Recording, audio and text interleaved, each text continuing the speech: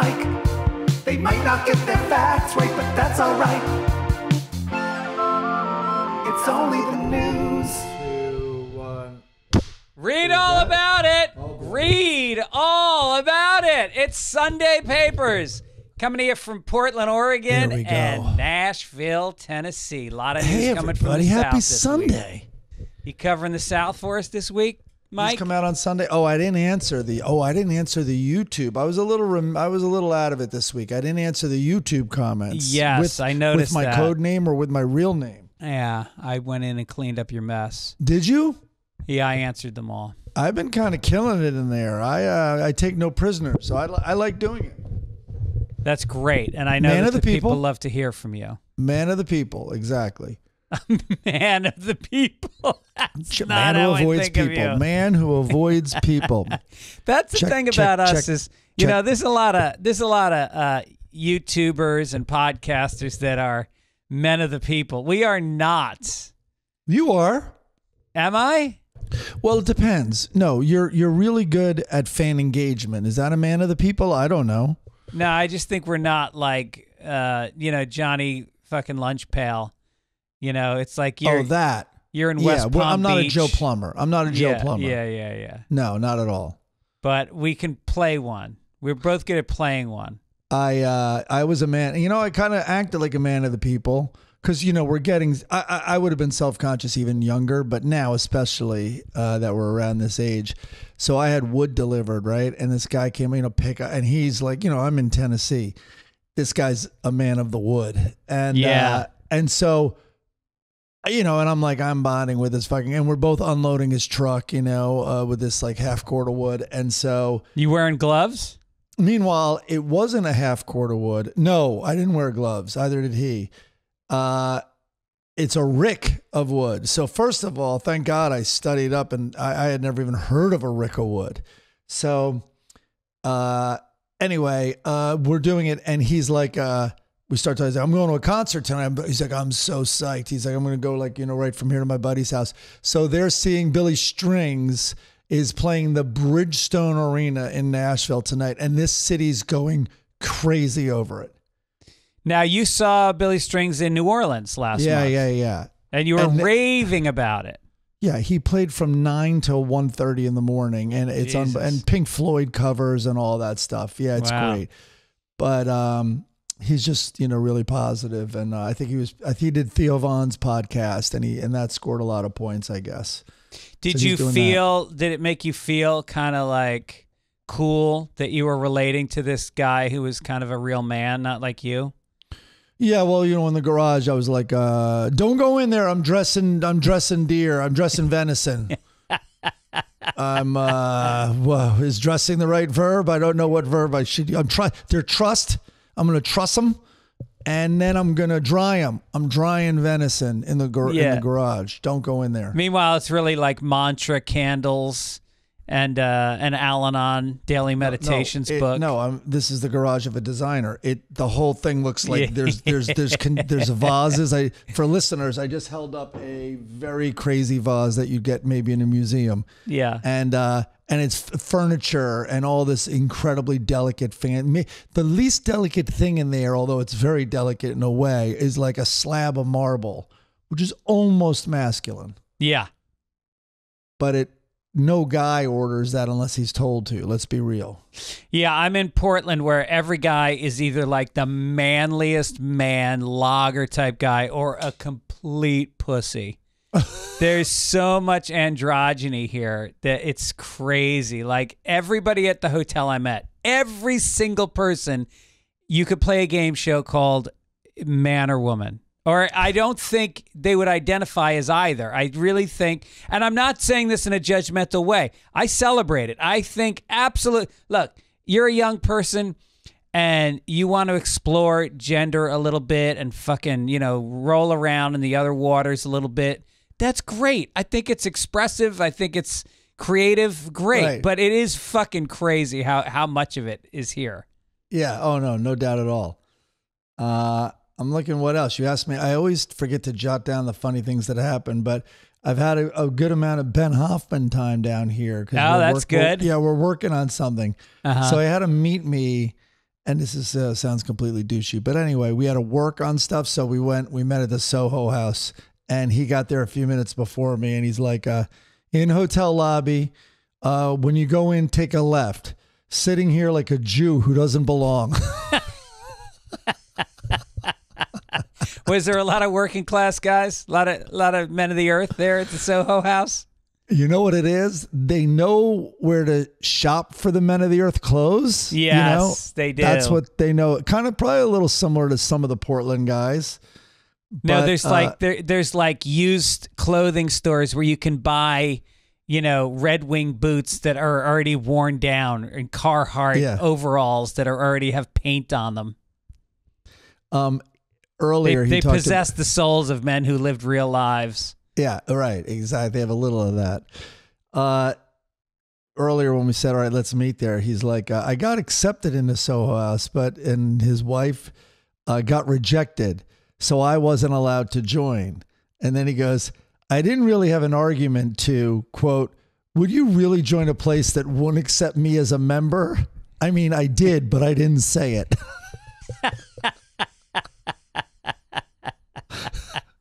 Is that it's almost as if he paid got them like, let "Don't in let her she in. did it. Don't let her in." That's crazy. No, no, they didn't apply together. I know, but that's weird that he can't join because she can't get in. I think I changed his mind on that. In fact, he stopped at the desk on the way out because I'm like, "What do you mean you'll bring her like all the time?" And also, once you're in, if you want to get her in, what uh, like what are they going to do? Say, "Huh? So financially speaking, that's your household would pay double." Okay, sure. You know what I mean? Right.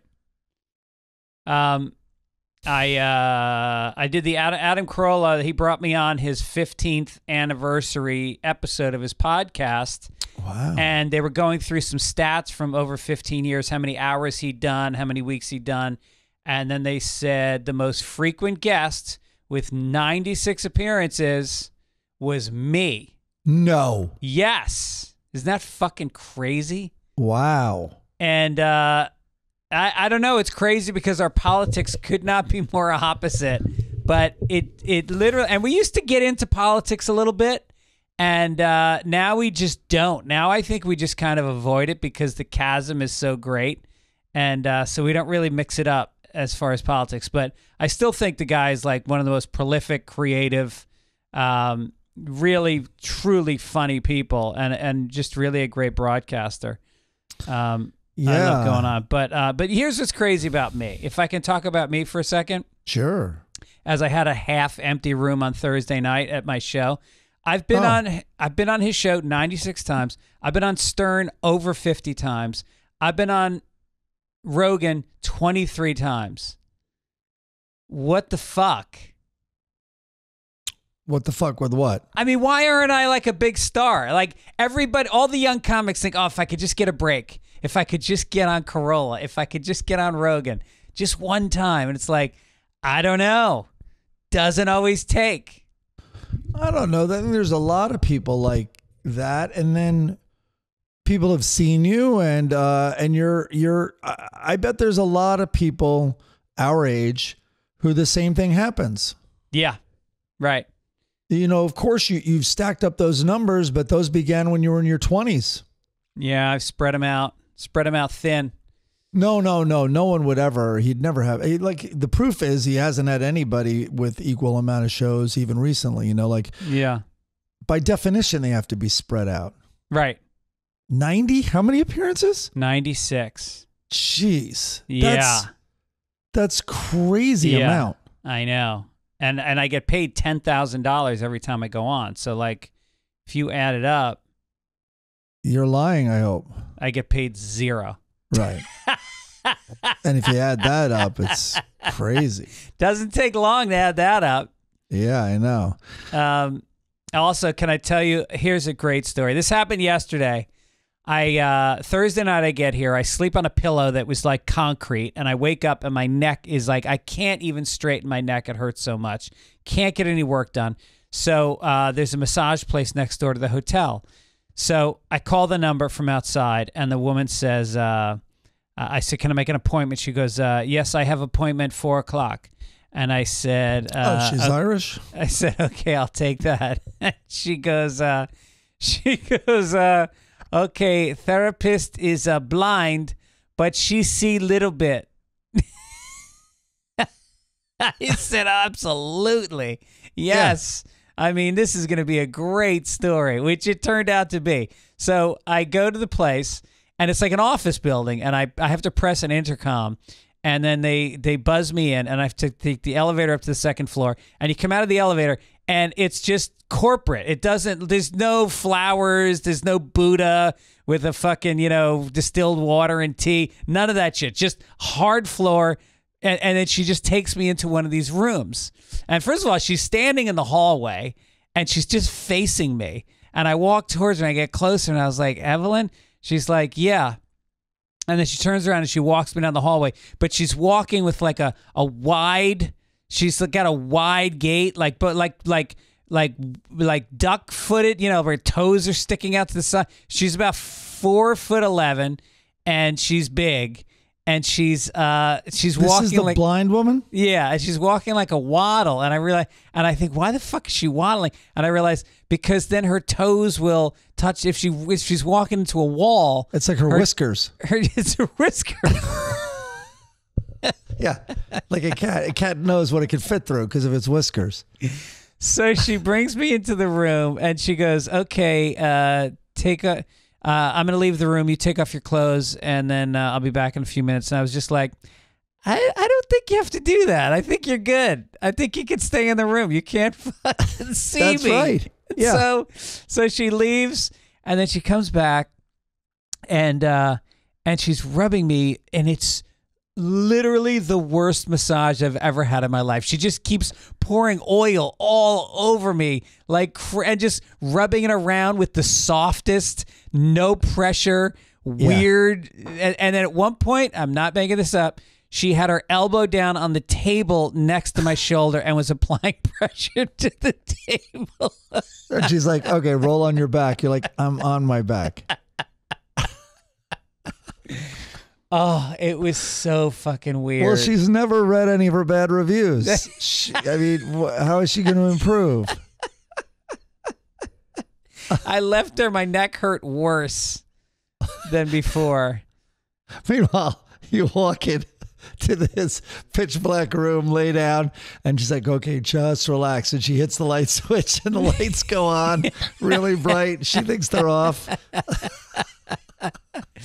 And then she had a, and then she goes, and she goes, oh, hold on, let me go get my, uh, let me go get my, um, what did she call it? Uh, let me go get my tool Dog? so I don't wear my fingers out. And she comes back with like, remember those clubs you used to put on your steering wheel in the 80s? It was like Yeah. a big metal, and she's fucking sticking it into my neck and rubbing it around. I was Whoa. like, hey, how about some fingers, you know? Yeah. And, uh, and then at the end, I paid her, and I paid her cash, which she kind of went like, oh. And so she, because I, I didn't, I didn't think about it. Like she can't see, so she's holding the bills up to her eyes, like an inch from her eyes, and moving them back and forth. You're like, don't worry, those are 50s, and you quickly leave. Oh my God. Here's a $20 tip. Zoom out the door. Here's a twenty dollar tip or a coupon to a car wash. I'm not sure which. That is not a Monopoly man's face on the dollar. Mickey Mouse. That is God. really funny. Yeah, that was a fucking good one.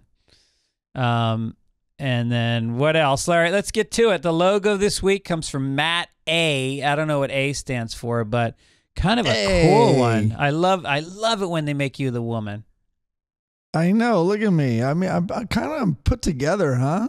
You got a nice rack and a beautiful pearl necklace. They usually go together, The don't they? haircut really needs. I think I might have been. I'm recovering from chemo. I think Yes. maybe. Yes. Yeah. And I look like I'm Chinese. Um. Yeah, there is something weird going on there. Yeah. Not Uh, that Chinese is weird, but it's weird for Greg. It's not weird at all. It's actually the least weird race because I think there's more. Are there more Chinese or more Indian in the world? I think Chinese. Well, here's one way to look at it. They're both Asian. Uh, Denman said Indian. There's more Indian than Chinese. Well, Chinese I didn't help themselves with that uh, one child rule, Oh, that's right. That's right. or maybe they did help themselves, but not in the race to overpopulate. No. A lot of I think uh, they're doing away with it, or maybe they have already done away with it. they did do away with it uh, because of the incel issues going on over there. So you also know that I don't know if it's still the leading guess on how humans will go extinct, but it's the uh, I don't know, and I don't know. God, I should really be more qualified to talk about anything, but uh, it's like depopulation, or the you know we're we're not producing enough uh, children, and so we will go out with a whimper. Uh, Wait, and who? I- the United States? The world? Oh, the world. Re- oh, I It thought we had too many people. No, Oh, Wait, did wait, Gre- wait, wait, wait, do you, you know, by the way, oh, Chris, up. you can leave your stuff up. By the way, It said Demon just wrote. Demon's sharp today. He's on shit. Yeah. Uh, India is projected to reach 1.4 billion people, overtaking China for the first time since 1950. uh, Damn. Denman, I don't know what, especially I don't know what search engine you use. Some it was probably the one that goes right to Q. But if you could look up what I'm babbling about, which is the the lack human race goes extinct because not enough reproduction. wow. Let's get oh to yeah, some truth. fucking Ch- check it on Truth Social. Exactly. Well, there's way too many abortions. Yeah, I mean, I- Elon does talk about it, but but uh, because he's just taking it from the biggest thinkers, yeah. Well, like everything, like everything he does. I have a whole theory about about the population and that rich people in this country control the laws and they are outlawing abortion. Meanwhile, there's a revolution brewing. Poor people are pissed. They can't get health insurance. They're seeing the the rich get richer and the poor get poor. And there's a revolution coming. And guess what? The Republicans they can get abortions. They have always been able to. They always will. So they're thinning their ranks as they force poor people to have more and more kids. And eventually, those kids are going to grow up, revolt, and kill, ironically, kill the people that were forced to make them get born in the first place. I mean, you're already seeing it in Los Angeles and and and other cities. well, Portland, the one you're in, probably. But um, it's it doesn't. And Carlin talked about this. It doesn't take much for people to realize, oh, if we just all walked outside, we could do whatever we wanted. Yeah. We could stop rich people in their cars, take them out, punch them, kill them, whatever, Yeah. whatever. Like, and police, and at a certain saturation point, police will run for the hills and definitely run back to protect their families. Yeah. Happened And- in Rome. I get hints of that when I see like, yeah, here's 20 people who are just like, yeah, we're just going in and taking everything from this Nordstrom's. Right, right. like, Flash mobs. we have no fear of the police showing up or anything. Right, right, right. All right, No, it hap- that's how ancient Rome fell. So here it is. Rate oh Nordstrom's on on the Aqueduct Avenue, the the big Nordstrom's in Rome. Uh, rate we need a rate of 2.1 offspring. I I think is required for replacement fertility rate. Uh, and everywhere besides Africa is below that currently. Africa is interesting though because I think Africa uh, probably is leading in some of the mortality car- categories. Like just getting to your 30s, I bet, is a rough road in many places in Africa. Anyway, yeah, 2.1. 2.1, I mean- does that mean per person? Like if you're married, does that mean you have to come up with 4.2 between you, or is it per couple? No, I think I think it's per couple. Huh. I believe that's a great question, though. Okay. Uh, we got some corrections from last week. JJ said you kept calling a square on one of those gambling grids for the Super Bowl a box. I have never heard anybody calling it a box. It's always called a square. Um, there's nothing wrong with calling it a box. It is a box. It's just that we always call them squares. Um, He I, might be right. I've always called it a box, I've always called it a box also.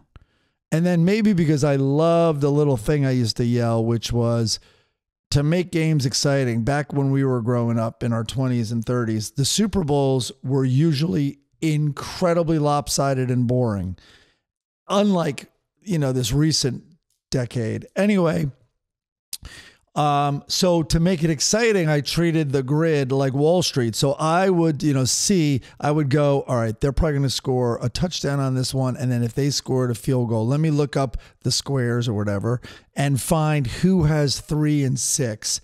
And then if it, especially, I would hope it would be a woman. And then I'd offer her money for her box. You would offer a woman money for her box? Is yes. that legal? I'm like, I will give you 10 bucks for your box, which is the most anyone's ever paid for it.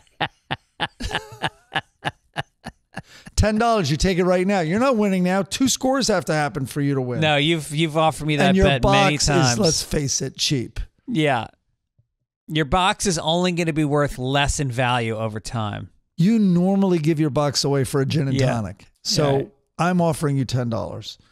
Brian Malley said it's executor of a will, not executioner, unless you're actually in charge of killing your mom as opposed to distributing her assets.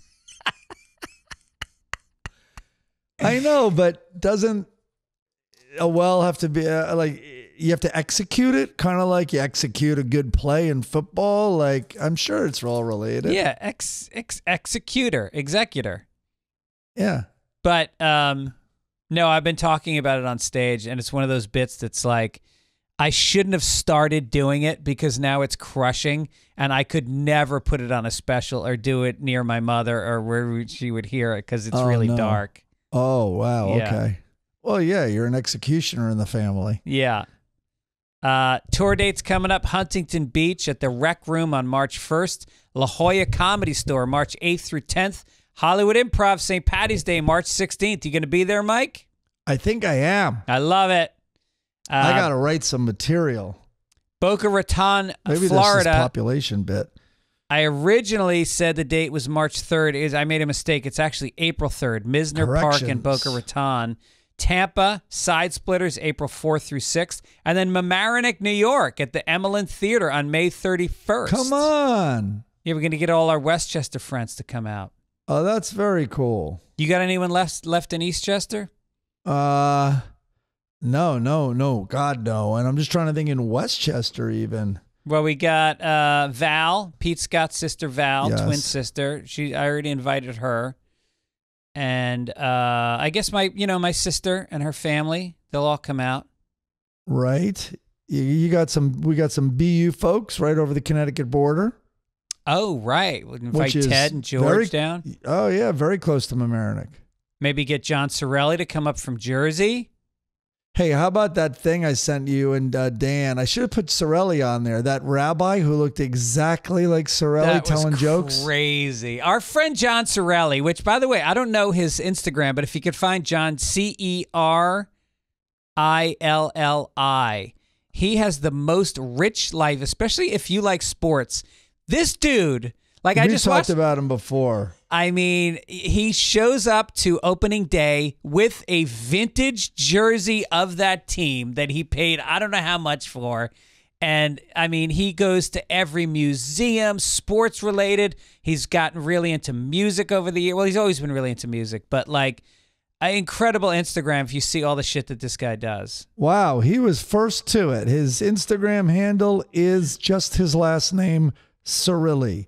It's that's how it's spelled. C E R I L L I. Give him a said. shout, give him a follow. He's a great dude. Yeah, if you want to see him, look at him in his dumb, what is this, a New York Rangers hat. But there he is, MetLife Stadium. I was Six just gonna say, I bet you he was at rink. that. I bet you he was at that MetLife game because they, they do this outdoor tournament now. So it was the Islanders against the Rangers, and it went into overtime. It was a fucking great game, and the Rangers ended up winning it. And that's his team. Yep. Oh, oh, he, okay. Uh, for the record, I was there for all five that were held out there. Wow. Yep. I mean, I can't imagine. I watched the game, and you're looking at these people. It's fucking February in New York, and they're sitting, you know, in nosebleed seats watching a puck that's the size of your fist. It's like, what are you doing? Yeah. No, exactly.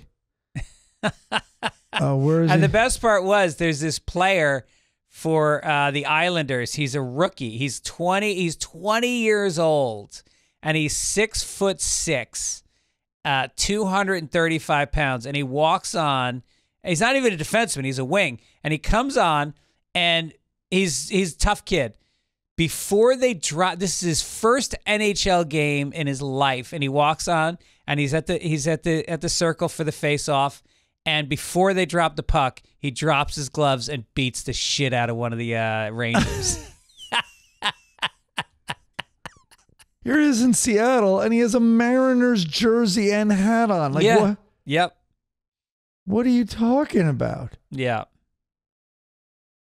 Or no, he's in New York with Mariners. I don't know what the. I don't know. You have to figure out some of them. He has an amazing baseball card and memorabilia collection. Yeah. Probably so he's very ex- into that stuff. Babe Ruth signed balls, all that stuff. No, I, I don't know what his his worth is. I don't even want to say anything more about it because I don't want anybody robbing him. I know. Yeah. Don't, please don't take his jerseys. He because Yeah. he wears them for warmth. Also, yeah. Um, all right. Listen. Speaking of warmth, oh my God, you want to feel the warmth of saving money. On an average, it takes about th- the support for Sunday papers comes from Mint Mobile. On average, it takes about 30 days for a person to break their New Year's resolution. So if saving money was on your 2024 list, your odds aren't looking that great. Luckily, I have a 100% guaranteed way for you to save money this year. Just switch to Mint Mobile right now. Mint Mobile has wireless plans starting at 15, I repeat, $15 a month. That's unlimited talk, text, and data for $15. Uh, you could be saving, I mean, I don't know. I think I spend for four of us like $200 a month. No, way more than that. how about after the AT and T debacle this week? What happened? Oh, it was like front page news. They had outages, and uh, there Oh. was rumors that it was a maybe a terrorist hacking or something like that. But it was no everyone because there's a lot of AT and T folk down here. I learned, and everyone was like rip shit. Well, it's not going to happen with Mint Mobile because they are on the nation's largest 5G network. Uh, it's premium, it's high speed data, and uh, it, it's just it's great. Whether you're buying for yourself or a family, it, it, you can start families start at just two lines. You can use your own phone with your same number with all your existing contacts, and they'll give you the first three months of premium wireless service starting at just 15 bucks a month. So get to get your new wireless plan for just 15 bucks a month and get the plan shipped to your door for free. Go to mintmobile.com slash papers. That's mintmobile.com slash papers. Cut your wireless bill to 15 bucks a month at mintmobile.com slash papers. Additional taxes, fees, and restrictions apply. See Mint Mobile for details. And then we got our folks who you know I love talking about over at Game Time. The Well, Sunday Papers can- is supported by Game Time. Oh, okay. Is that You got to is say that, that. Yeah, you that's what I'm supposed to say? that. Yeah, you got to always say that. Sunday Papers is supported by Game Time. That's why I'm going to talk about them. But I, I might talk about them anyway. Um, you're never going to have a frustrating ticket experience again, which we've all had those. You shouldn't have to worry when you buy your tickets. Fast, easy. It has sports, music, shows, everything. I like the discover button right there because then I see kind of what's in town. Like, for instance, if I didn't run into my firewood guy, there is the listing Billy Strings tonight. 730 Bridgestone. Right now they're at 149. They're going to drop. That's the whole idea game time. Last minute tickets, flash deals. They have zone deals. Uh, they have views from all the seats in the venue for every event in your area. The lowest price guarantee. There's event cancellation protection, job loss protection. Um, That's they're pretty great. insane because that theater holds 20, th- the arena holds 20,000 people and he's getting an average of 150 bucks a ticket. That's $3 million at the gate. He has a big band. He spreads it around. I'll tell you that. Damn. Damn. Yeah. Uh, we got Predators down here. Let's see what other music. I'll press the music category. Colton Moore.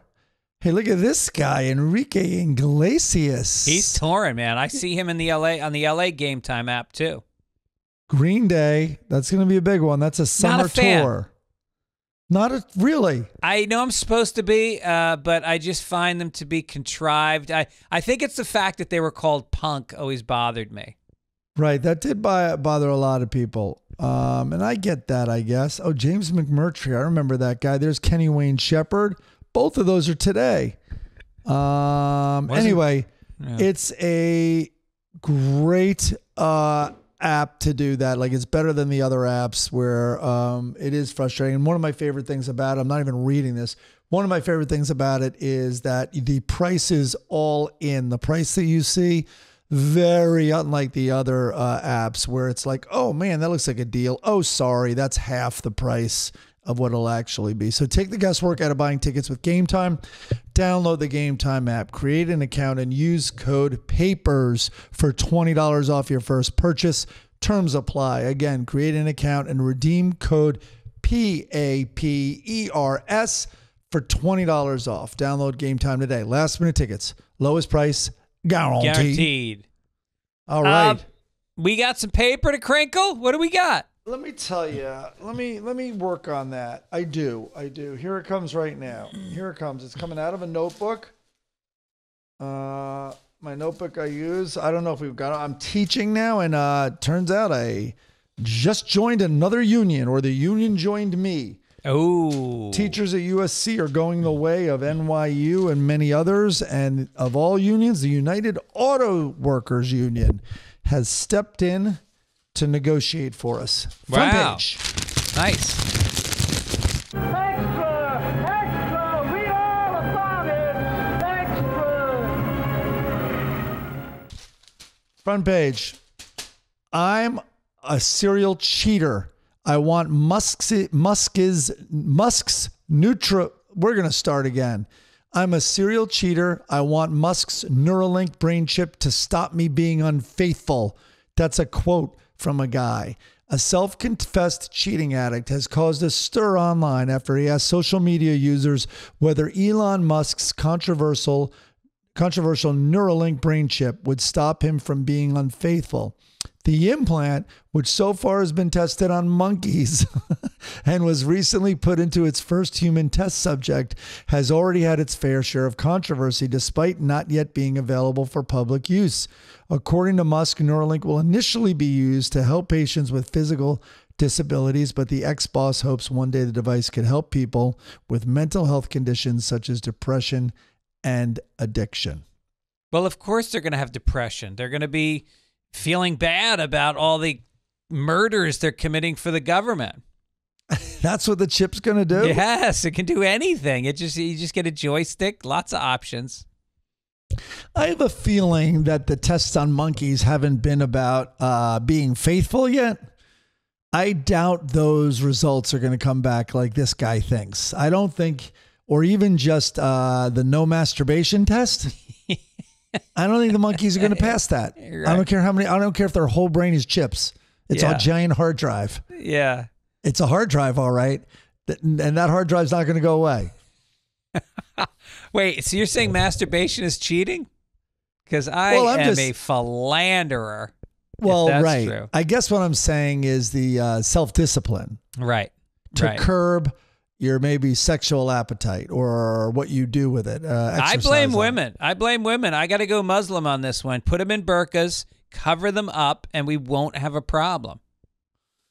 That's okay. Yeah. Oh yeah, and change my likes on TikTok.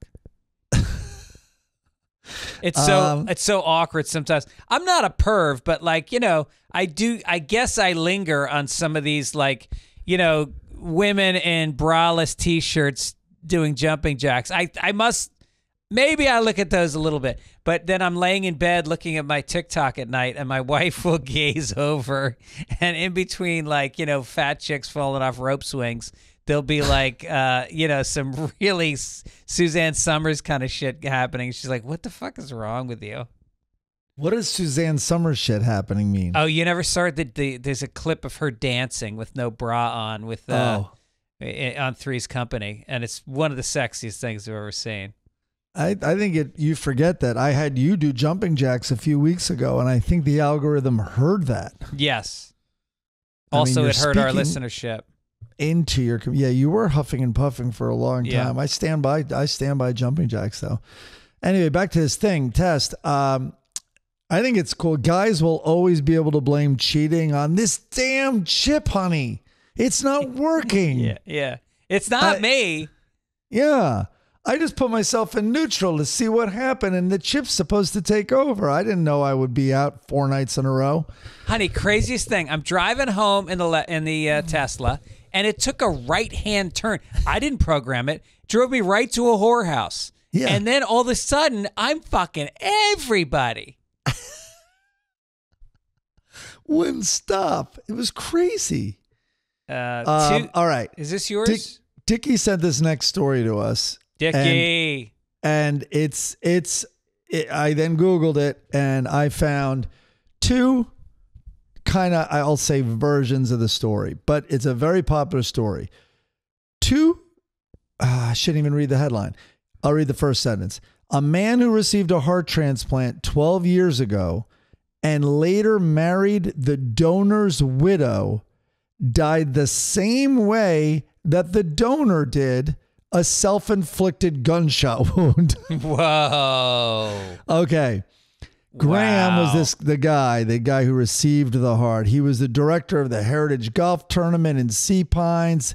He was on the verge of congestive congestive heart failure in 95 when he got a call that a heart was available in Charleston.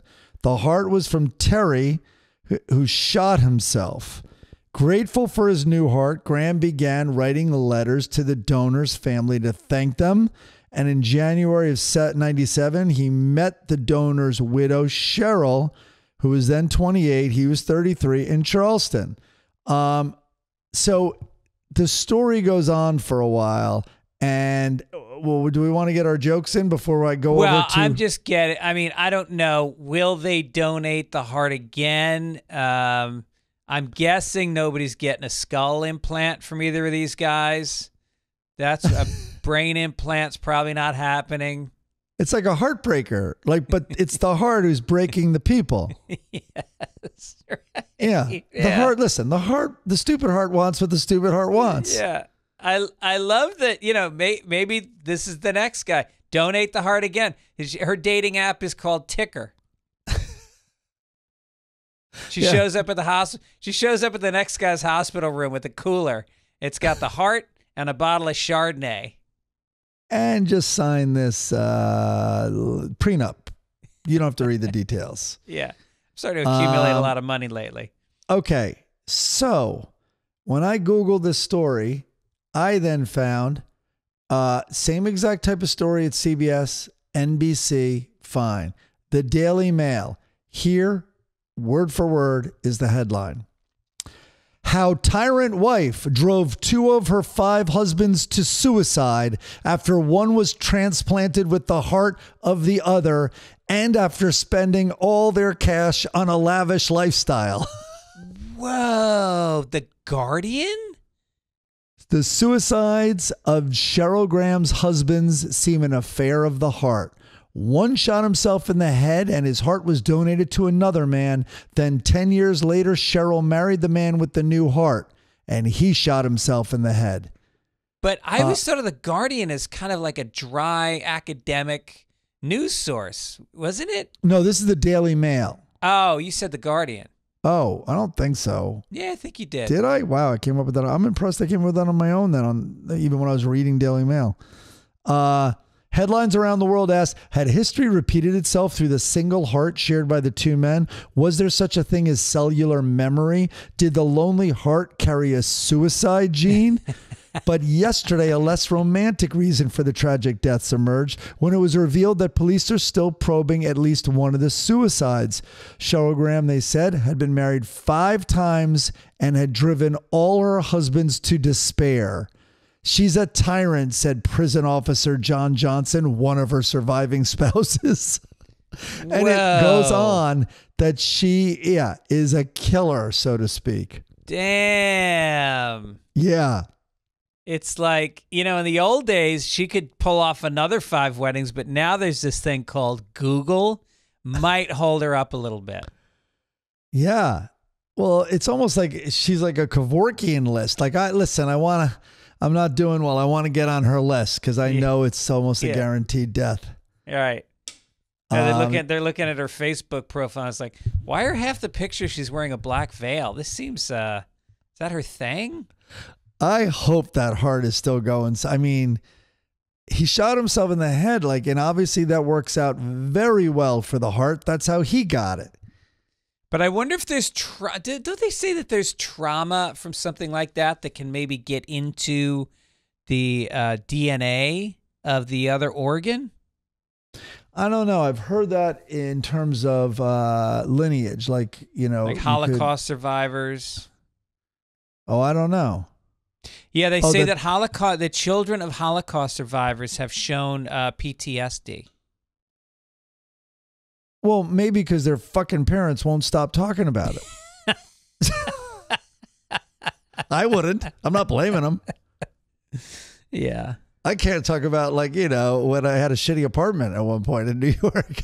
I think I would be talking a lot about my Holocaust surviving, Yeah. I mean, but I think from- there's a lot of guilt, right? Famously, famously, Yeah. there's a lot of guilt, uh, guilt. by the survivor. Yeah. Survivor guilt. Yeah. Is this you, Missouri teacher, or is that me? That's you, pal. A Missouri teacher of the year started the suspicious fire that killed her four young Oh, kids. This Is a, Jesus. this is a dark episode. Happy Sunday, everybody. It killed her four young kids just hours after she posted on social media about living, quote, each day like it's your last, cops say. Bernadine Birdie Prusner and her children all perished in the blaze at their home in Ferguson. Uh, St. Louis County Police ruled it a murder suicide. It is believed that Bernadine intentionally set a mattress on fire. Uh, a note was left stating Bernadine's intentions to take her life and the lives of her children. Um, a few hours before the fire broke out, uh, around 4:30 a.m., she posted about her children on Facebook. Wow. I don't know if she said live every day like your last. I think it was like, I'm living and today's my last day. Yeah, maybe that she's, might have been what was posted. maybe she's Russian and the translation came out a little funny. Yeah. Um, kids, it's time for bed. Did you treat today like it's your last? All of a sudden, the kids are asking to go on sleepovers. Hey, mom, I'm gonna, I'm gonna head out. she starts treating them differently. Told them it was okay if they started smoking. Um, she catches them saying their prayers before bed. No, you know what? You can skip that tonight. skip that tonight. No need. No need for that. Yeah. By the way, is it me or is this a pretty easy case to solve when you find the note? Like, what was the crime scene like? Like, Captain, I found a note. Put the note down. Look over here. I think she fell asleep while smoking. Captain, but this note says, enough with the note. this is a tragic accident. I don't think we uh. have to. I don't think we have to investigate anymore, sir. How did the note survive the fire? Yeah. Right. Good point. Maybe she wrote it in blood, like on the floor or something. Oh. A pair of drug dealers, including one who was charged last year in the overdose death of his infant son. What these are? I want everyone to listen to the when I let when he picks stories. What happens? I didn't.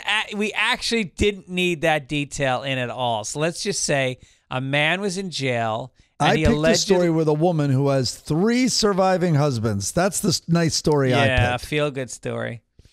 Uh, anyway, allegedly tried to smuggle court documents soaked in liquid fentanyl into Rikers Island. I do like Adam- this story. Adam Camagate and Curtis Braswell were indicted on multiple drug charges this week in what Staten Island DA's office called a first of its kind case.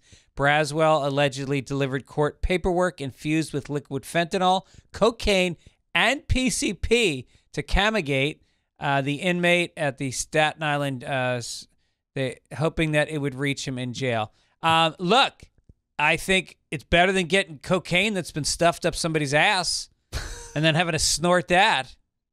Hey, this this coke smell a little funny to you guys? How about it's like uh sure you can use my lawyer. He's the most expensive lawyer on the planet and you'll eventually learn why. Yeah. He he has a lot of billable hours uh, and produces a lot of paperwork, and you get to keep all that paperwork. Yeah, you're going to want his paperwork. It's great. He doesn't use email. That's the great thing about this guy. Everything is hard paper. Guys in the guys in the yard are selling tabs of affidavit. Dude, I got some affidavit. Exactly. Uh, and the kids, it's it's it reminds me of like when we used to smell those mimeographs or whatever, like right, in, in yeah. school. Like, oh my god, oh my god, that's Yeah. exactly what's going on. Imagine rolling a joint with that paper. Oh, dude. That's This something. is this is going to be the new high-end Miami party drug. Just like warrants and uh, summaries. yeah.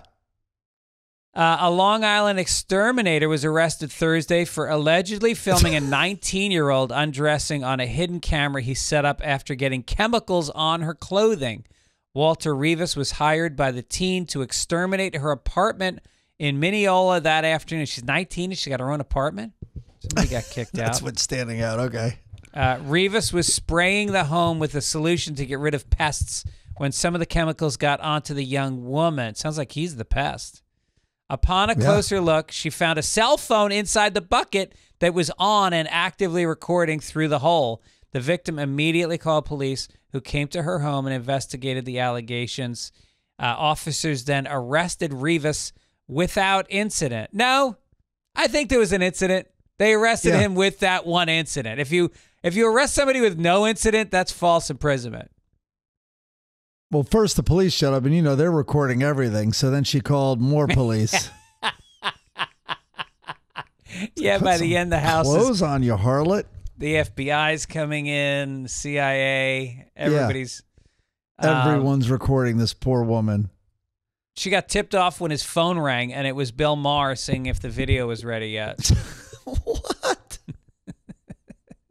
I don't know. This guy sounds thorough. He sprays the apartment, then he sprays the inhabitant of the place, and then he films his work for quality control. right, right. Sometimes the mean- boss boss says, "How did it go?" Well, let me show you how it went. Yeah, and, and look, look what I sprayed. Here you go. I sprayed a little of her. Um, I remember. Do you remember this freshman year of, of of college? This was the move. You walk up to a girl in a bar, you lick your finger, you rub it on her sleeve, and then you go, "Let's get you out of those wet clothes." Do you remember that line? No, it was weird because even by then I had shame and couldn't do something so unbelievably stupid. I loved bad pickup lines. Women fucking love them. You you you'd be shocked. The dumber they are, the better they work. Yeah, all those I used to know. I mean, because they were so, st- eh, you know, you've fallen from heaven. God says something. All that stuff. Yeah. Yeah, yeah. Um. Oh boy, that one was particularly bad. All right, where are we going? Let's Entertainment. do entertainment.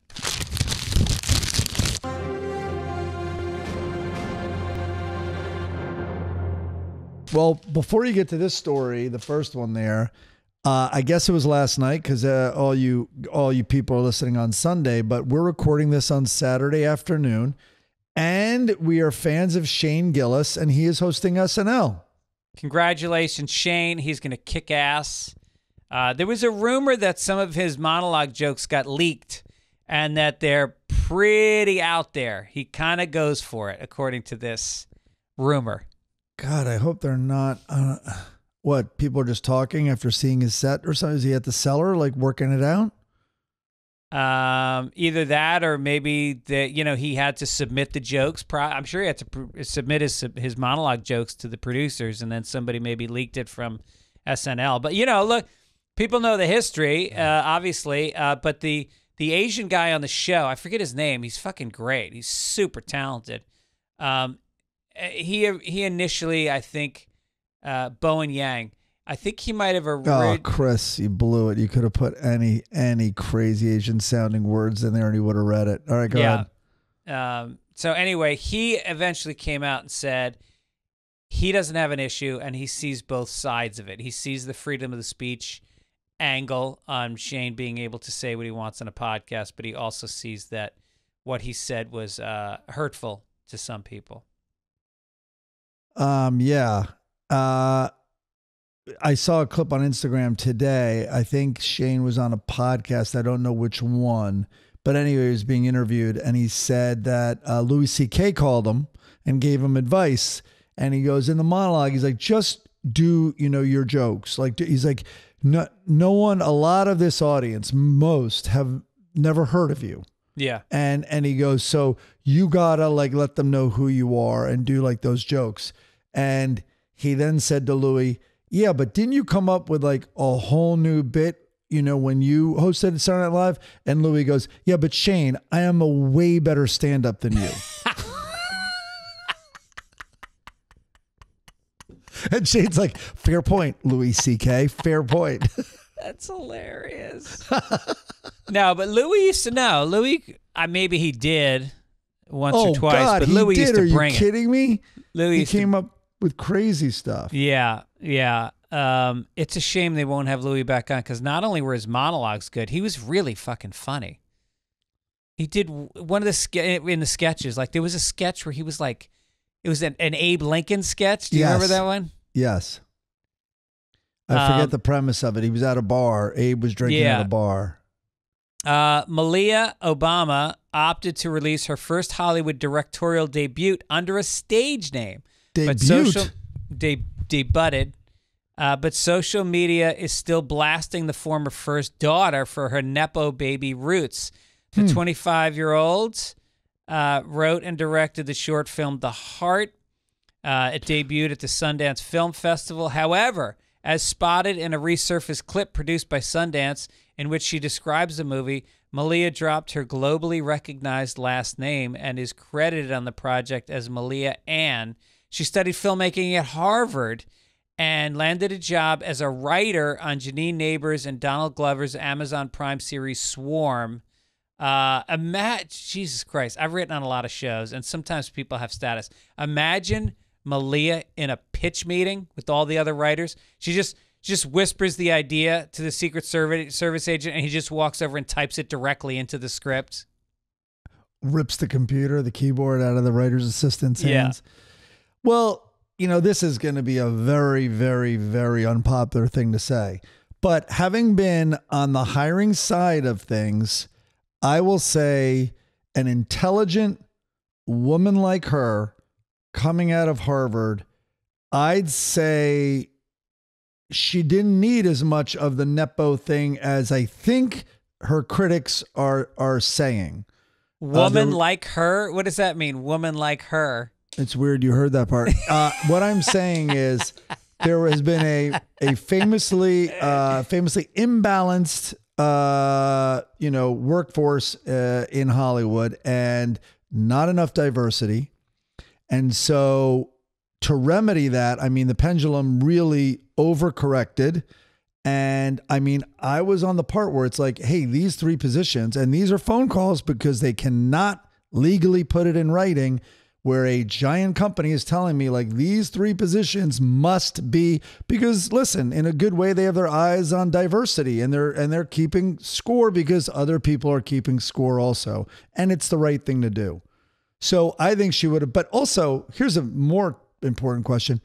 What could malia have done where she would not have gotten? Like she's a nepo baby no matter what right? Yeah. I mean, I she mean- went into social work and had a high, you know, and and, and I guess they're saying she might have skipped she, some. She's gotten fav- favoritism. Well, yeah. I mean, usually if you want to be a writer, you have to be an assistant first, but it's going to be awkward to have your assistant who has an assistant. Yeah, I mean, no, but some writers uh, skip the assistant thing. I mean, I did, but I mean, uh, many do if they have a great packet and all that stuff. Yeah. All right. Well, I wish her Um, luck. I mean, she's actually an amazing woman. what is Chris She- saying about Colin Jost Oh, here and we BJ go. Novak? Uh, Colin Jost. w- Why were they? They're Harvard people. I don't know that they're nepo babies. Well, Colin's a woman from Harvard, She's saying they were super young and got hired uh, right out of right college. out of right away out of yeah i guess when you come out of harvard there's a fast track from harvard especially if you worked on the lampoon There was a bit of a backlash against that because they were so annoying in Hollywood and and and everywhere. It was like you went from the Lampoon to the Simpsons, then to everywhere else. Yeah. So anyway, good luck to her. It was the Conan route. Make America Florida. Let's get a crinkle.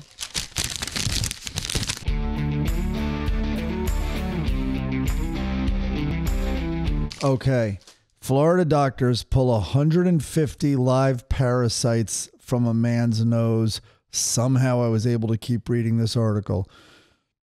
When the on call, bad luck that day, uh, Dr. David Carlson examined the patient's nose. He noticed something moving in the patient's nasal cavity.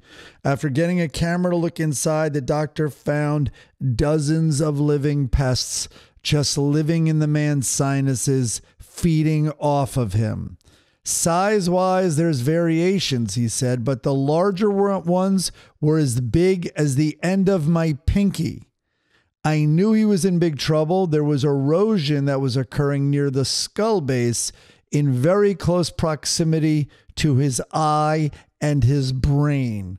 It had gotten so bad that the larvae had burrowed into other tissues inside his head. In total, 150 of these creatures were pulled from the patient's head with different methods, according to the doctor.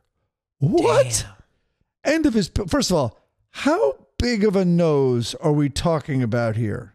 Yeah. and the I- slightest itch on my nose, and I'm not. Listen, I. You've never seen me in a, ever complain about allergies, complain about being bothered by pollen, nothing.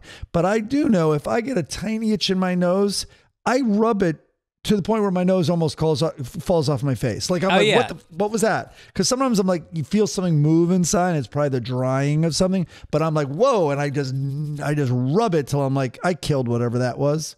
No, it feels amazing. I I have a I have kind of a recurring right below my left nostril, uh, an itch that I constantly scratch. Which you know, at this age, those kinds of things are only going to get worse as you get older, and that's going to be my thing. But um, and that's why I pick my nose almost constantly. Uh, there is very rarely snot in my nose that's not getting picked out while I'm at a red light. I thought you were saying restaurant. No, I go to the restroom for that. They all begin with. RE. How does this guy not notice? Hey, you guys, you guys smell anything funny like a kind of a fungusy larva type of an odor? Anybody smell that? Anyone smell my brains being digested? no? They don't really talk about how it started. I mean, is it a bacteria? Uh I guess oh larva. no, they did. Sorry, I read the article. They did. He, I forgot what his first guess was, and then he goes, "I'm also an avid fisherman, and so I do handle dead fish a lot." Oh wow. But the article didn't say, "Well, that's it." And I forgot what else he did. I don't know if he had a cold. I forgot what it was. I think he had a bad cold also at one point. I don't know. But nothing explains this. Also, the size of them sounds like it was almost whack a mole. Like they were Yeah. popping out of his nostrils and the doctor was trying to get them out like, uh, you know, groundhogs out of holes. All right, all right. Uh, all So right, what's this next one? This one's cra- this one's just as crazy. It's crazy, but not as creepy. So keep listening, people. You don't have to fast Maybe forward. you should skim through this one a little bit. A Florida long. man chops off paraplegic friend's feet with a hatchet in an insurance scam. All right, I don't really need to read it for you, but the police show up and uh, they pretended that it was a brush hog, which is a rotary mower, and they pretended it was an accident and that the feet were cut off, but it didn't seem right, and the authorities were guessing um, that uh, something was amiss. The, the the cut was too clean. And also, he had tourniquets on his leg, and they're like, "Who did that? That you, like you weren't alone." Right, right.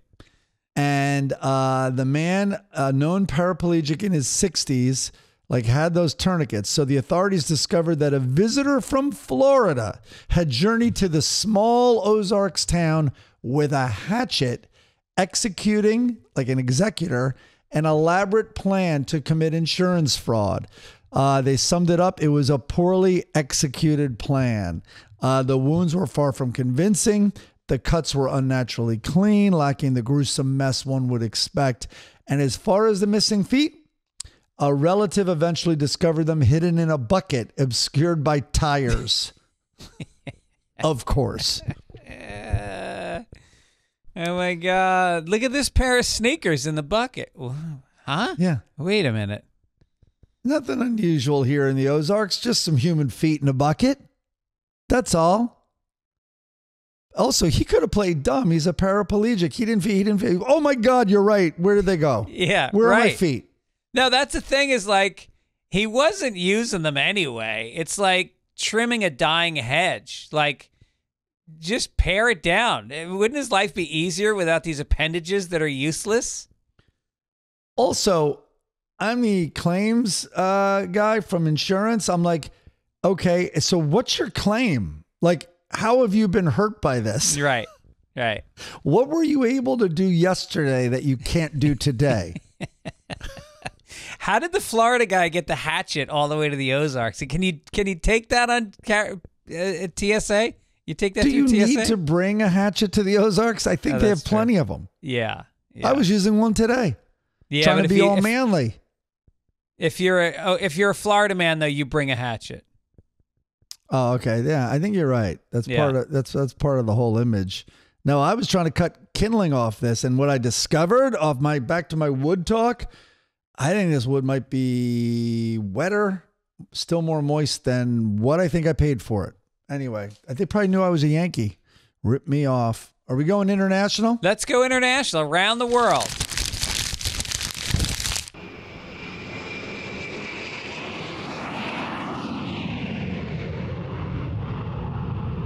All right, this is your story. I like it. No, Why I think you- it was my story. Yeah, it's your story. Go ahead. Munich. Uh, a new study suggests that apes possess a sense of humor just like humans. An international team had discovered that four species of great apes, orangutans, chimpanzees, is it bonobos, bonobos, and gorillas all engage in playful teasing with one another.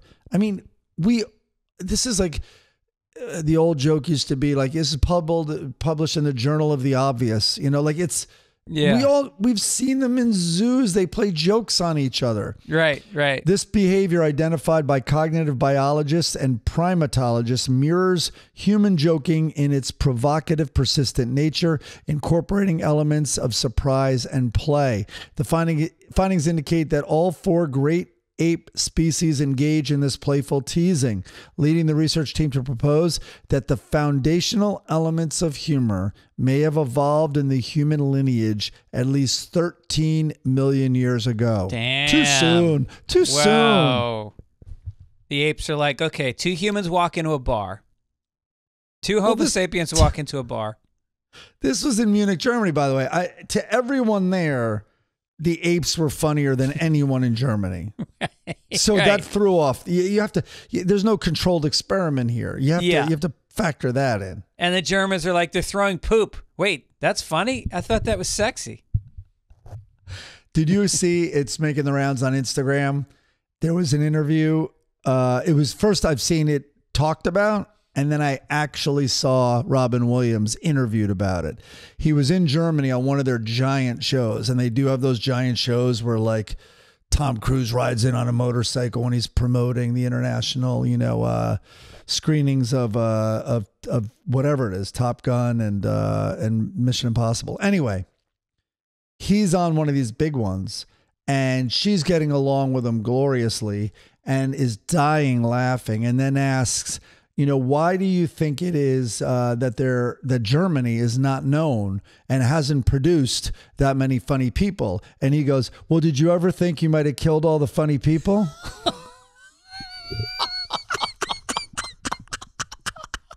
and it did not go well and I think he was never invited back on that show, which is a very popular stop for everybody to make. Oh, that's hilarious. I mean, chimps, I get it. Chimps are hilarious. They, I mean, you can stand at chimp cage all day and they do funny shit. But orangutans, total hacks. the throwing the poop bit's like a hundred years old. Never laughed at a gorilla. the gorilla is the gorilla is how like advanced. I don't know. I was gonna shit on a comedian and say he was like a gorilla, but I, I don't. Why do why start being that guy at this point? Yeah, I mean, even the even the chimps aren't uh, stooping to that level. They're not shitting on each other. Well, they literally Oh, they are, are but literally. not figuratively doing Right. that yet.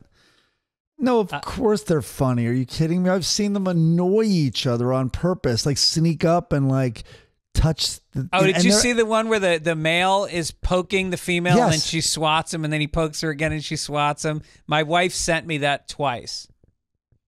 And and the male though wasn't it like a younger? It was smaller. So in a weird way, they were punching up also. Like the Yeah. humor was in this thing could kill me, but I'm gonna annoy it. You know. I literally every single night, and this is the key to humor in a marriage, is you have to do it constantly.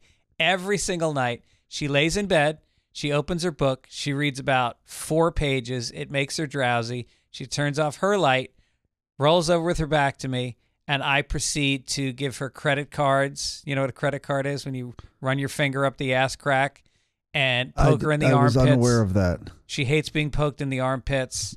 Um, just a- until she's swatting at me, and uh, and and and it wakes her up. Like for all the work she's done to get dressed, now she can't fall asleep, and I and she gets really angry, and I don't know why I can't stop doing it. 20 some odd years of rejected credit card swipes. Your credit is no good there. Your I mean, haven't you learned? Yeah. Oh no! I also like you're still swiping your credit card. The only person alive still doing that. I know I should be putting the chip in. That might that be might be more the chip fun. in. Yeah. or tap it. Tap that ass. We are going to science, tech, and health. Here we go.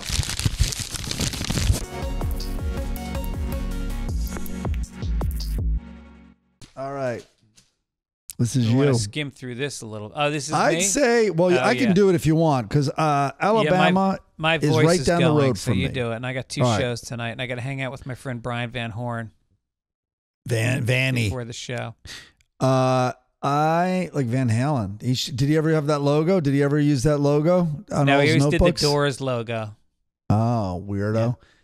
Um, and my voice is sounding pretty strong today, actually, for me.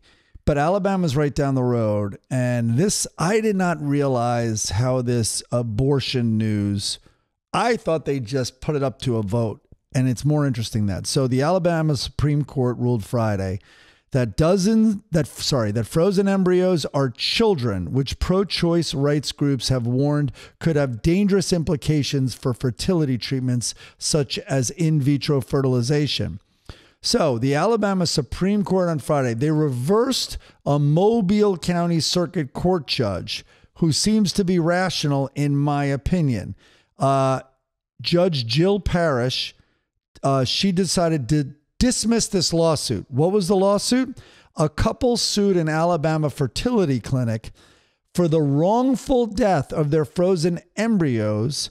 Um, the couple's frozen embryos were destroyed after a hospital patient who accessed the freezer and held the embryos dropped them on the floor. Uh, the ruling means that the couple can sue for wrongful death. So, my take is this couple, I think, was probably super pissed off, all that stuff, and were probably trying to get compensated for this hospital messing up their frozen embryos. And to do that, they probably got legal advice like, let's go at them this angle that we can get them in the wrongful death. So, the Wrongful Death of a Minor Act is sweeping and unqualified. It applies to all children born and unborn without limitation, the ruling said. It is not, and this is what the Supreme Court said, it is not the role of this court to craft a new limitation. Anyway, the Supreme Court's like, no, you don't throw that out. That court had merit, that, that case had merit. And then they are saying that, uh, yes, indeed, it, uh, it was the wrongful death of a minor, the frozen embryos.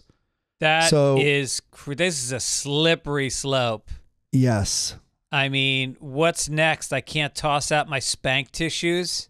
Am I going to get arrested for what's in my trash bin here at the Holiday Inn in fucking Portland? How about the hospital patient the next day? Like, uh, listen, good news and bad news. The uh, Your tumor is actually it's not grown anymore. That's good. But you are going to be on trial for killing eight children. Remember when you dropped that tray yesterday when you shouldn't have been in there? Yeah, you, you're a murderer. And by Yeah. the way, uh, good luck in prison having killed eight children. that doesn't go well. Right. Right. I kill millions every time I was alone in my office on a Wednesday afternoon with a script deadline. I was Hitler. Imagine him trying to talk his way out of all the rapes in pr- in prison. Like, Yeah. uh, no, no, they were they were frozen. And shut up, you kid killer. You froze the children? First you froze them? what a creep. Um, all right, let's get to this day in history. Yes, here we do it.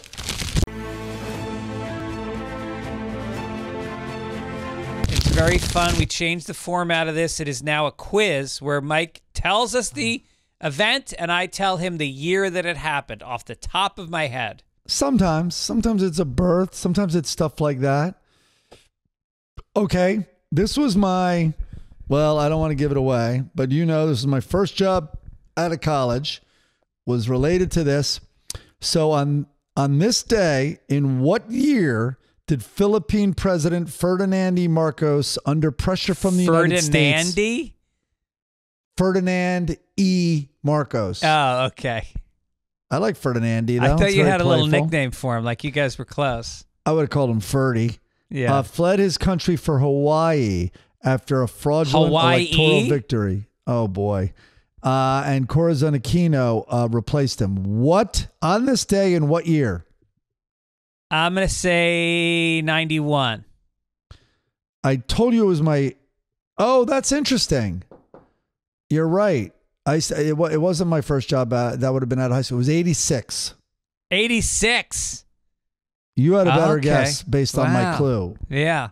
Okay. Well, what happened is she was president for a while, and then it took a long time, and then the Marcoses were on trial in New York City, and I got a job um, uh, for the the Aquino government, literally maintaining Imelda's poor image in the United States. Okay, what else is going on? You're not going to know that one. You're not going to know. Well, would you know? On this day in what year did French painter Renoir, Pierre Renoir, when he was born, give or take 70 years? Wait, his name was Renoir. Renoir? No. Pierre Aug- Auguste Renoir. Renoir. Okay. What The year was Renoir. What year was Renoir born? I'm going to say 1821. 1841. That's not bad. That's not bad at all. Yeah. Dude, I gave you 70 years. Yeah. Okay. Uh Muhammad Ali, known at the time as Cassius Clay, became the world heavyweight champion by knocking out Sonny Liston in seven rounds. What year? This would have been 1959. Uh no. That's I would have known that was too early. 64. Oh, okay. Uh That was the famous photo where he had like his arm going across while he stood over him and he was down on the on the canvas.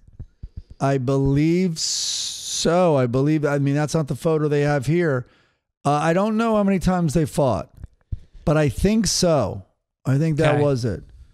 And I don't know if that's the one where uh, the, I know we drive people crazy when we talk about sports, but there was one where I think it might have been Sonny Liston, but one of them put an irritant on his gloves, and Oh, no shit. and Ali couldn't see and was complaining about it in the oh, quarter. wow. And there used to be real shady shit like that that it was, you know, harder to detect or was ignored back then. Yeah. And they would do stuff like that. Um, George Harrison, it's his birthday. What year was he born? Uh 1942. Very close. 43, the youngest Beatle. Right. Yeah, he was the youngest. You, we Uh, always talk about the the traveling Wilburys and how young everybody was. He was only 39 years old, I think, when he was in the traveling Wilburys. It's it's ridiculous. Yeah. Uh, Even today, literally this morning, I saw a uh, something come across my feed, and where it was Ringo being interviewed. He's like, "Yeah, so there I was, like 30, and the Beatles were behind me, Yeah. and he was the he was the oldest one, I think." right. Right. All right, let me see if I can find one more. I mean, those were the lead ones, I got to tell you, but uh, you're not going to know. All right, yeah, why not? The 16th Amendment to the U.S. Constitution happened on this day, which permitted a federal income tax. Sorry, it went into effect on this day. What year do you think that was?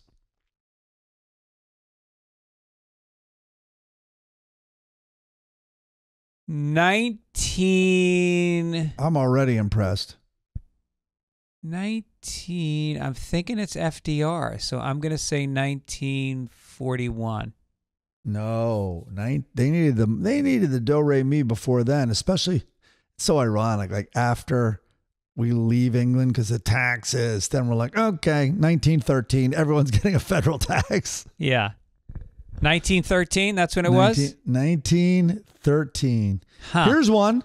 I think you're going to do very well on this. It's tomorrow. I'm cheating, but it's the lead story from this day in history for February 26th. What year was Napoleon's escape from Elba? oh i'm going to say uh He escaped his exile. i'm going to And- say 18 And and he got didn't he escape twice or no? Yes. He went twice. Well, he gathered. So I'll I'll finish reading some. no he didn't escape twice he was sent he escaped Oh. and then he got sent back Okay. Yeah, he gathered Oh no! They then he sent them to a further island. First, he was sent to Elba, escaped, came back, amassed an army, got back in power, and then got sent to a, an island off of Africa. It was like the furthest most point from land in the world, Anthrax he died there. Island. Anthrax Island. No, that's that Um, was uh, Hannibal to Oh, Clarice. I'm gonna say eighteen twenty-three. 15, 1815. Okay. Okay, my man. Uh, where are we now? We are. We are at. obituary. Let's do an obituary. Let's take it down. And that's all, folks. Look what I found. Here's the good news. Other than Navalny, did we talk? I think we talked about him last week. Well, his body was returned to his mom. And then one headline I saw was his tortured body. I don't know if, I mean, I, I don't know if that means physically. I, I, pro, who knows? Anyway, but uh, other than him, it wasn't many famous deaths. Uh, at least one that I found, but I did find that Tony Ganios dies, and he was the guy Meat from Porky's. Oh, wow. Remember him? Yep, of course. 64. He was an actor who made his film debut in uh, The Wanderers, which was amazing. And he played an audience favorite, Anthony Meat Tuperello, in the 1980s Porky's sex comedy franchise. And he died in New York uh, after surgery. By the way, they call it a sex comedy franchise. Go back and watch Porky's. There is a fucking neo Nazi. There is abortion. There is a suicide. It is a dark ass movie. And there's uh, Cattrall from Sex in the City. Oh, Kim Cattrall. Yeah. being sexy as hell and and and and feigning an orgasm or having an orgasm. I think a real Uh, like you know like really having it. Yeah. in the uh, locker room. I guess. Um, let's see here. He was hospitalized Saturday with a spinal cord infection, and he had it operated on. He passed away Sunday of heart failure. Huh. In 1990's Die Hard 2, he played a killer who meets a memorably gruesome end when Bruce Willis stabs him in the eye with an icicle. But he found his signature role in Porky's. Uh, it was a hit in 19, a surprise hit in 1981. Get this. The reason I put this paragraph in here, it's about a group of high school boys in Florida looking to lose their virginity in 1950s era uh, Florida. Um, it was savaged by critics, and it would go on to be the fifth highest grossing movie of 1982, spawning spawning two sequels. Did you? I'm trying to remember. If, I don't even think I saw that in the theaters. I think I did.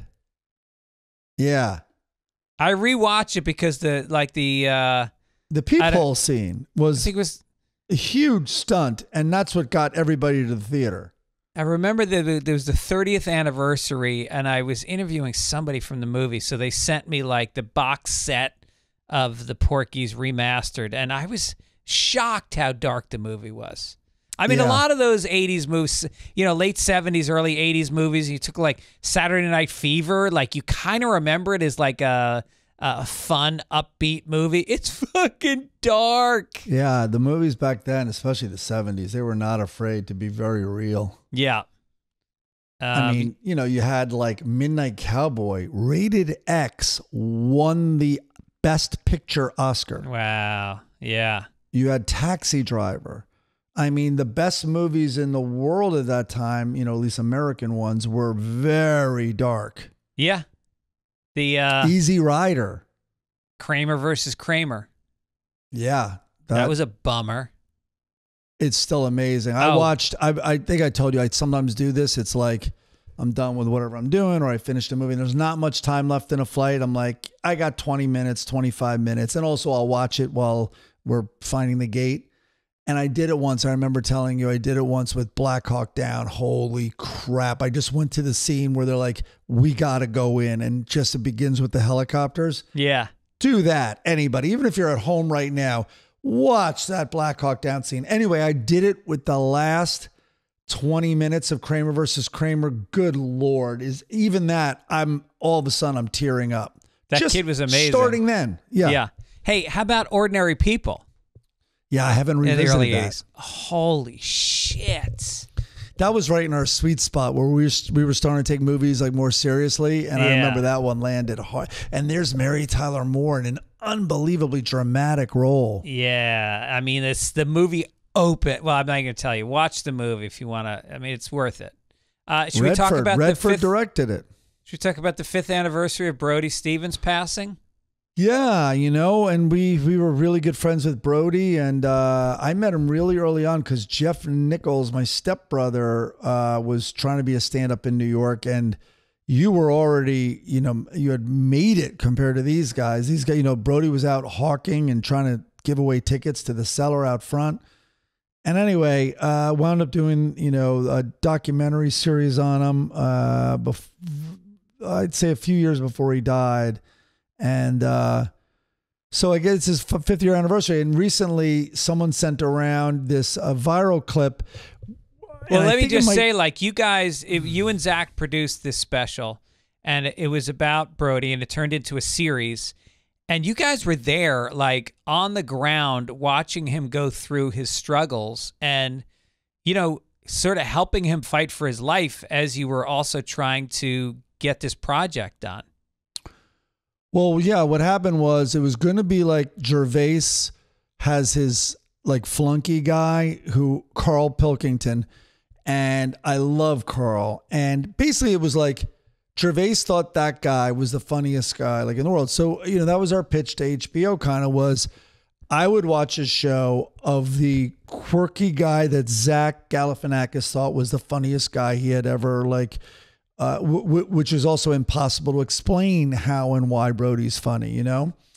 And so he had given Brody roles in Hangover 1, Hangover 2, cut out of funny people, as he famously would tell you, but he was also in that road trip movie that Zach did. And, um, and so Zach's trying to get him to his next level. And we sold the documentary as like, here's a guy that the top guy in comedy right now is trying to show the rest of the world how funny he is, and it's not really working out. That's what we're going to follow. Yeah. And then we did the pilot, and it was picked up. And then Brody uh, had a manic episode. That's literally how you describe it, and how the medical community described it. and they learned, and it's a very, very popular misdiagnosis. They learned he wasn't depressed, he was bipolar. And because he was diagnosed as depressed, it only protected them from the low end of things. And there was no kind of regulator protecting them from mania. And a lot of people find out they're bipolar because they go into mania when they're just on depression drugs. Anyway, what happened was we got handed a way better series to do because now we're not following this guy around, you know, like trying to make it on reality shows. It is now about mental health.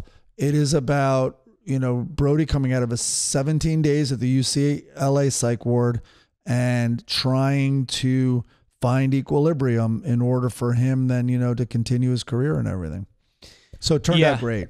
It was super heavy, and um, you know, I think it was a good. I think it was a good eye-opening show about what, because especially as a comedian, people just they don't understand what the psyche is, and not all comedians have the same psyche, but there is a certain slice of of, of our population that is afflicted with either depression or bipolar, and um, and I think it was I think it was meaningful. I think that Oh. show was really something. Yeah, no, I, I it's I think it's the thing I'm proudest of. It's uh, and again, it was we were handed that serious storyline.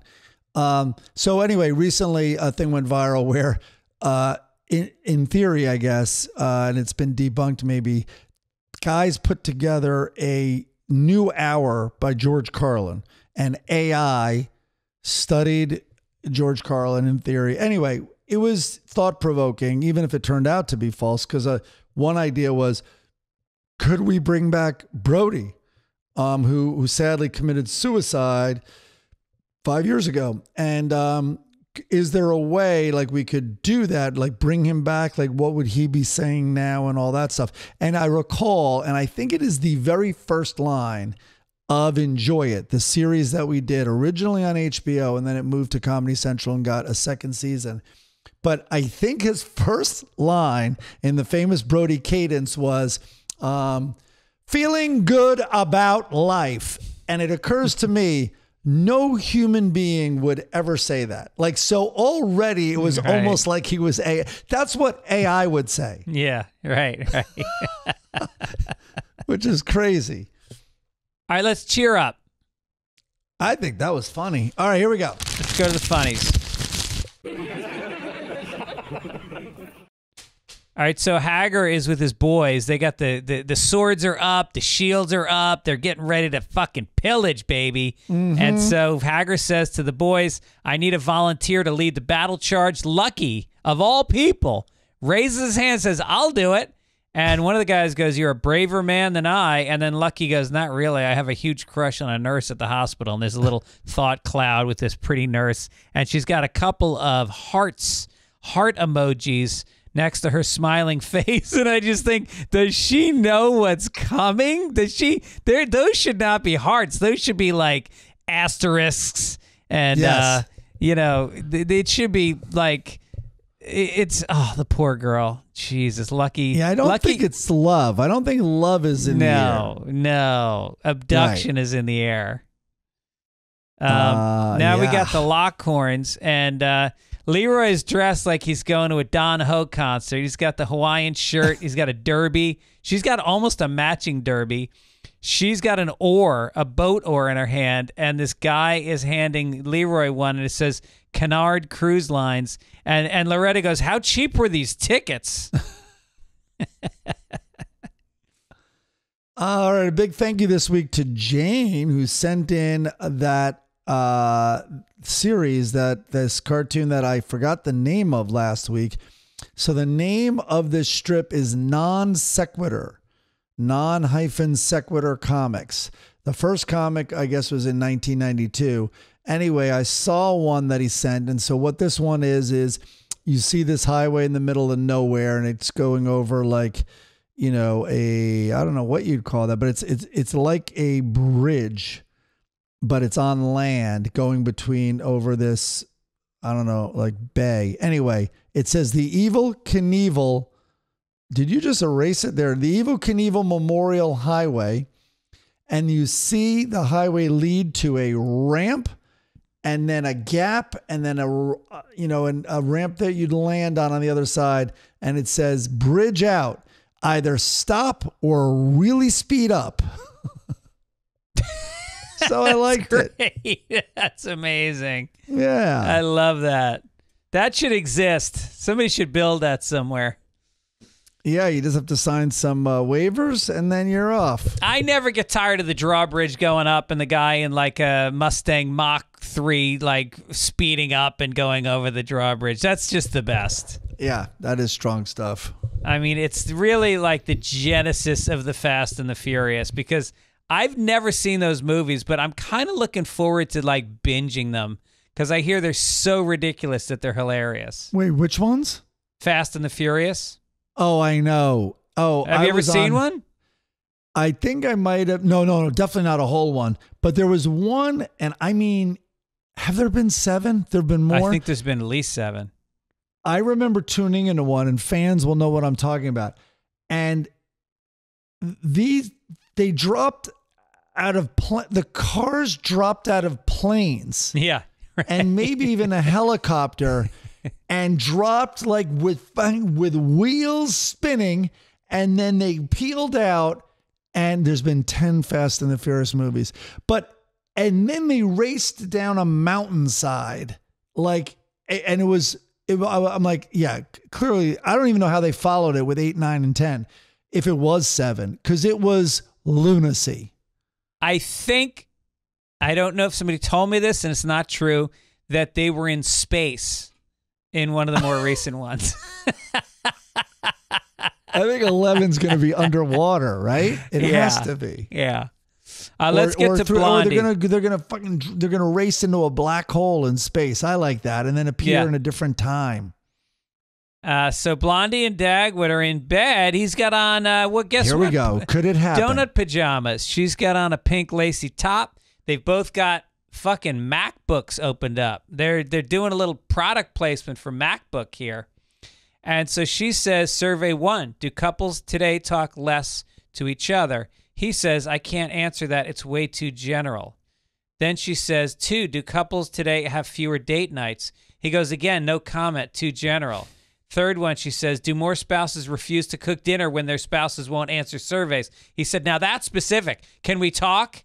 Yeah, you can talk. You can talk without fucking laptops in bed when you're when you're fucking laid down next to a woman who's probably drenched in rose oil, whose toenails are probably painted fuchsia, whose breasts have they, they are, are, are full and round and soft, and yet you want to sit on a fucking laptop and take surveys? Close her fucking computer and open her legs, Dagwood. Wake up! And of course, the threat. She knows where to get him. It's with food. She's not even withholding Yeah. sex. Right. That wouldn't work. Yep. He'd Yep. like, I don't know. Too general still. He's not even fat. That's what's so weird about it. I mean, Yeah. I, I would like to see a Blondie cartoon where Dagwood weighs like 360 pounds. That would make sense. That would. Yeah, it would even be more depressing that she's sticking around though. No, then she'd leave him. I think that would be the. oh, be the that it's a short. It's a short run comic. I like. Yeah. Okay, Yeah. fine. All right, listen. Speaking of short run, if you want to save some money on your uh, on your mobile phone, go to mintmobile.com/slash papers, and uh, you're going to get yourself uh, your your fifteen dollar a month. Uh, you get your first three months, whatever it is. You know the deal. And what's the Gametime thing?